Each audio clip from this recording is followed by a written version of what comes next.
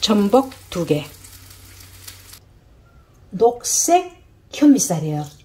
녹색 현미쌀. 이거를 하루 정도 물에 불려놨거든요. 어, 쌀공기로 한 공기를. 이거는 전복, 이거 해녀가 직접 바다에 들어가서 바로 잡아온 생전복을 샀는데 이거 하나에 돈이 만원. 비싸죠? 청현미쌀로 전복죽을 끓일 거예요.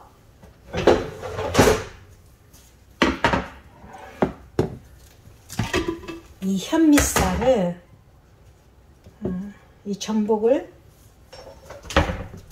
썰어주세요. 믹서기에다 이제 갈아줍니다.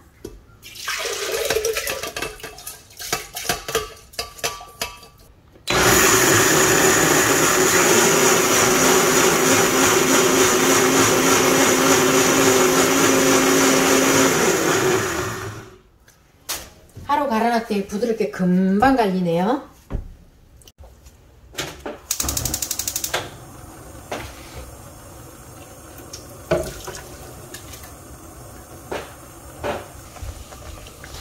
이게 이렇게 이제 끓일 때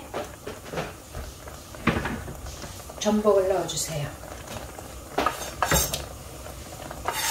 그리고 이거 내장이 진짜 맛있거든요. 이거를 이제 여기서 터뜨려 주는 거예요.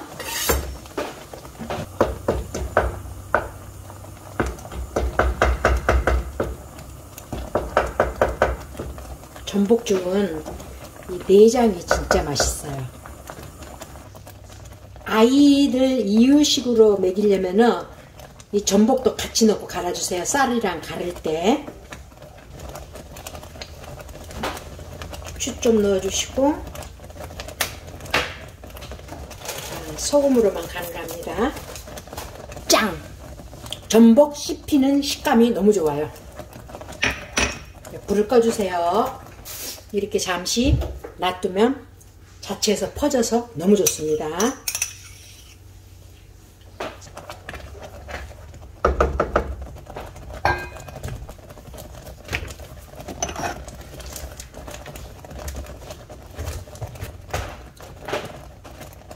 간보기